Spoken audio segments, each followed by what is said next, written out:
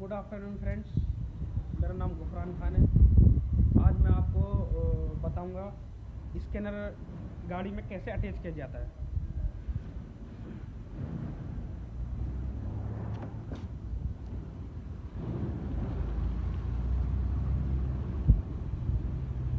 तो फ्रेंड्स, सबसे पहले ये ओ केबल है। ओ केबल को हम गाड़ी से अटैच करेंगे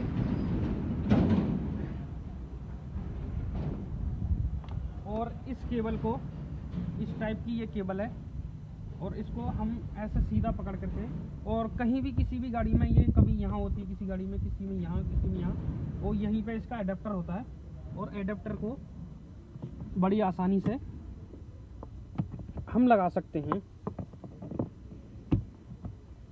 ये फिक्स तरीके से एडेप्टर लग चुका है। और फ्रेंड्स जब वो एडेप्टर कनेक्ट हो जाएगा तो एक बीप का साउंड भी आएगा। बीप का साउंड इसलिए आएगा सर दिखाइए पास में। बीप का साउंड आएगा ताकि स्कैनर कनेक्ट हो गया। और यहाँ पर जो आप में देख रहे हो व्हीकल छपा हुआ आ रहा है। ये पहचाने कि स्कैनर कनेक्ट हो चुका है।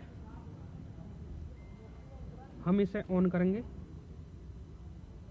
गाड़ी का इग्निशन ऑन करेंगे। इग्निशन ऑन करने के बाद। तो दोस्तों, सबसे पहले हम वी डब्ल्यू इसमें सर्च करेंगे। सर्च करना है तो आप यहाँ से सर्च का ऑप्शन है। वॉक्स वेगन डाल सकते हो। ये वॉक्स वेगन आ गया। वॉक्स वेगन पर मैं क्लिक करूँगा। और क्लिक करने के लिए ऑटोमेटिक सिलेक्शन आ गया। ऑटोमेटिक अगर मैं सिलेक्शन करता हूँ ये मैंने क्लिक कर दिया तो ये ये ऑटोमेटिक विन नंबर ले लेगा। जैसे ये यहाँ से रीड करूँगा तो ऑटोमेटिक विन नंबर ये ले लेगा।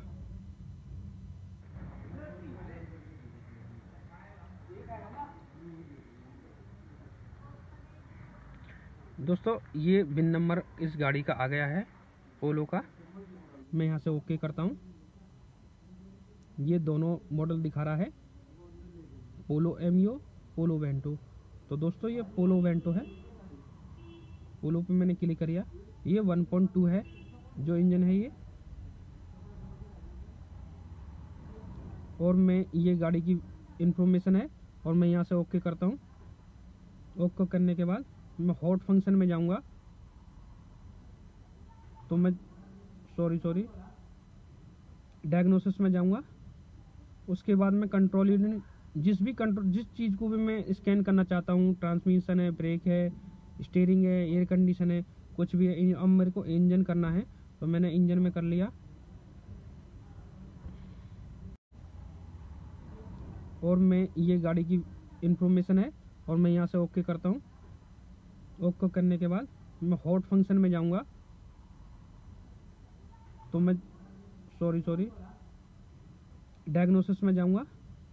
उसके बाद में कंट्रोल यूनिट जिस भी कंट्रोल जिस चीज़ को भी मैं स्कैन करना चाहता हूँ ट्रांसमिशन है ब्रेक है स्टेयरिंग है एयर कंडीशन है, कुछ भी है अब मेरे को इंजन करना है तो मैंने इंजन में कर लिया।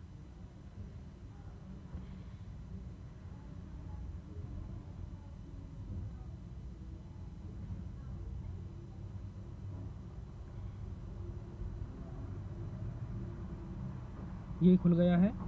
इसमें ई सी इन्फॉर्मेशन है ट्रबल कोड है लाइव डेटा है एक्टिव टेस्ट है, और बेसिक बहुत सारी ऑप्शन है। तो अब मैं डायग्नोस कर रहा हूँ तो इसमें ट्रबल कोड देखूँगा। तो दोस्तों, इसमें आप देख रहे हो, सत्रह पाँच सौ तेईस जो कोड आया है ऑटो सेंसर का है ये।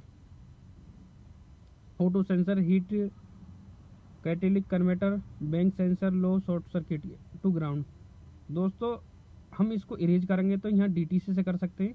क्लियर डी से। हमने इरेज करा। Ignition on and engine off ये कंडीशन बता रहा है। तो इग्निशन हमारा ऑन है और इंजन ऑफ़ है। हम यस कर देंगे।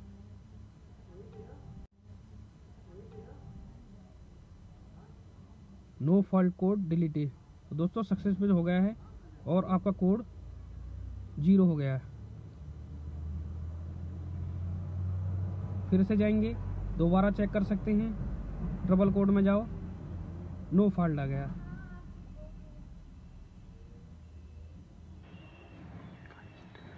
और इस, और फिर हम गाड़ी स्टार्ट करेंगे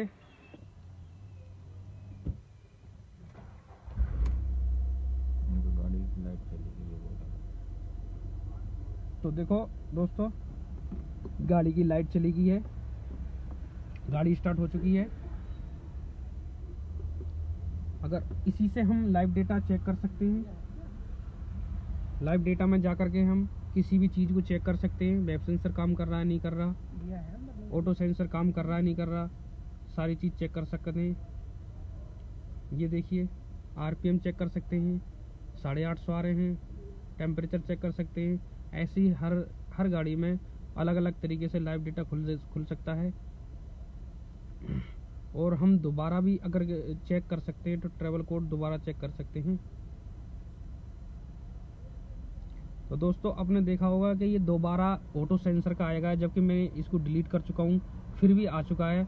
तो दोस्तों, मैं बताना चाहता हूँ आपको कि ये दोबारा जो कोड आया है, किस लिए आया है जो कोड आया है, किस लिए आया है? इस गाड़ी का जो कैटेलिक कन्वर्टर है, वो हमने ब्लॉक होने के कारण, वो हमने कैटेलिक कन्वर्टर इसको तोड़ दिया है और तोड़ने के बाद ये लाइट और ये कोड इसमें परमानेंट बन चुका है।